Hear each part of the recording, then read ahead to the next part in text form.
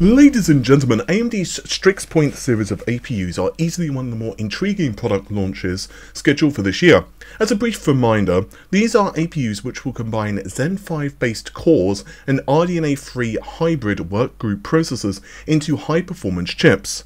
The Halo product, capable of offering performance enough to give discrete budget to mid-range GPUs a run for their money. Strix Point leverages both Zen 5 and Zen 5C depending on the configuration, I'll get more into this in a moment, and naturally for gamers who need high performance processors on a budget, it's going to be an excellent win for AMD. Now, in the past 24 or so hours, there's been a very interesting piece of official information from AMD themselves. Well, I say from AMD, they actually put it on GitHub uh, with patches, of course, for their drivers.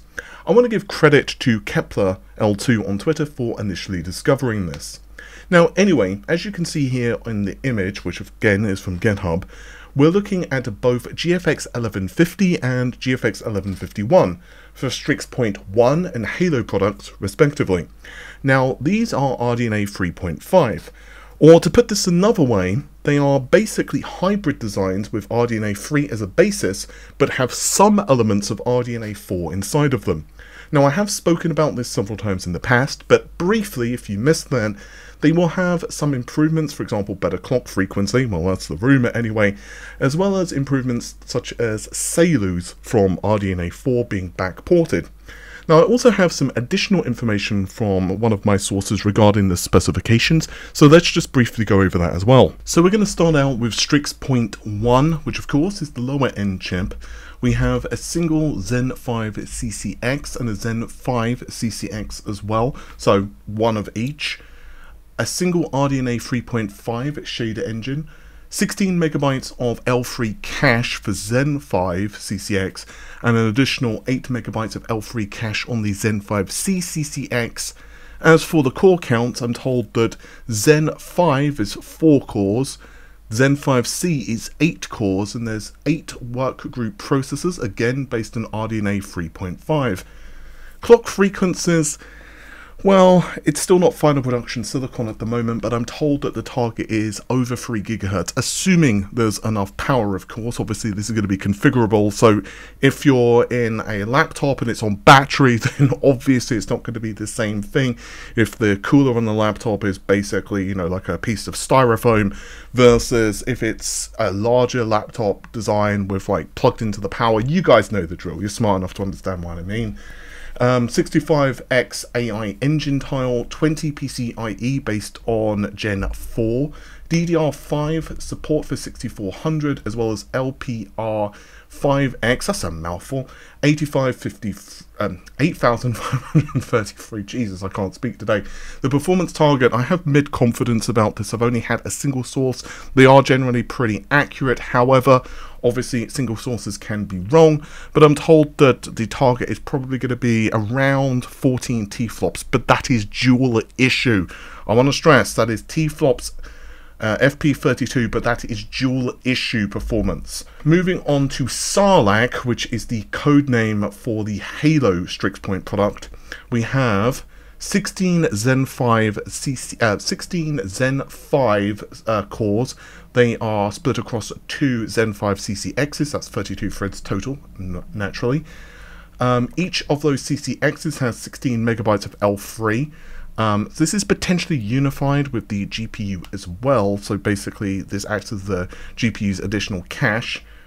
20 work group processors, or if you prefer, 40 compute units. 256-bit LPDDR5 support. As for the AI engine, now this has been the subject of a lot of different figures that I've heard. Early reports that I was getting were around 40 tops, however more recently it's over 50 and I'm basically hearing figures between 50 and 60.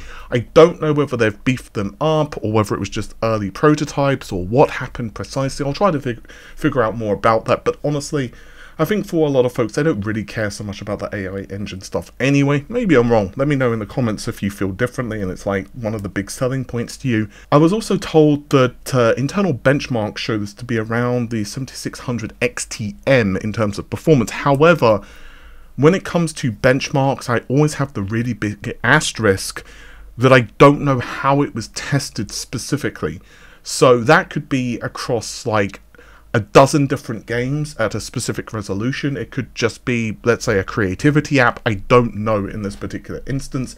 So do take that with some level of salt, but I was told it is faster, at least in one or two benchmarks than the 7600 XTN.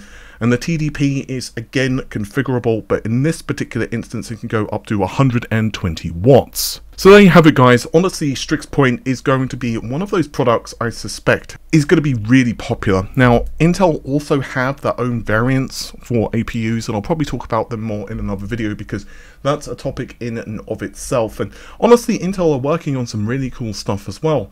Zen 5 naturally is also going to launch this year and there's a bunch of very exciting products from both uh, Intel and AMD of course we're expecting. I don't really actually think RTX 50 is going to launch this year. I don't know about that, but I was hearing a lot of mixed reports it was going to be Q4 this year, and some others were telling me that it was going to be Q1. But just recently, the murmurs I'm hearing really are starting to make me think that it's not going to be this year.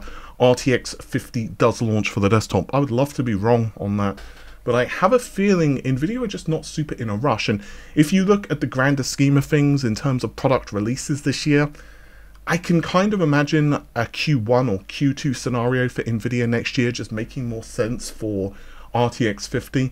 Ultimately, let's say they were to release RTX 50, and let's even let's just assume, just for the sake of this video, let's just let's just hypothetically say that it was two times faster than the 4090 in pure raster performance. Let's just even say that it was. Hell, it could be 10 times faster. Obviously, that's not practically possible for a dozen different reasons, but let's just assume that they could do it. What benefit is there? Um, and that really is what it comes down to. I just don't see NVIDIA doing it because we know that Battlemage performance targets are just not going to be enough to really upend the 4090. Um, we know AMD they're not going to release like a product that's going to be faster than the 4090 anyway.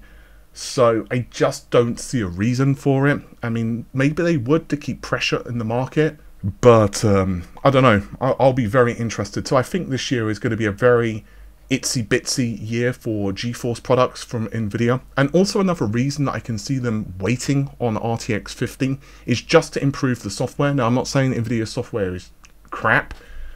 I can just imagine, however, additional time to work on drivers, the ecosystem, that type of stuff, it could be really beneficial um, for NVIDIA. I've heard some really weird rumors for NVIDIA, and I'm just going to mention it here because I don't have a lot of faith in this information. So I'm just going to mention it as a quick FYI, but I would really not put much stock in this year. But I've had a couple of people tell me that NVIDIA are definitely working on stuff like having DLSS work across any game how that's going to work in terms of actually implementing it. Obviously, AMD have kind of done that with their own software at the moment. There was a really big thing of them, you know, kind of working on this stuff. And I don't know, it's going to be very interesting to see what NVIDIA does. So I think perhaps having more time in the tank. But either way, getting back to Strix Point, I think it's going to be a very, very, very cool series of processors. I'm actually really excited for Strix Point. Um, while I'm not much of a, you know, laptop gamer per se, I feel that um, you know ultimately there is a lot to be said potentially for removing the need for low low uh, performance discrete GPUs.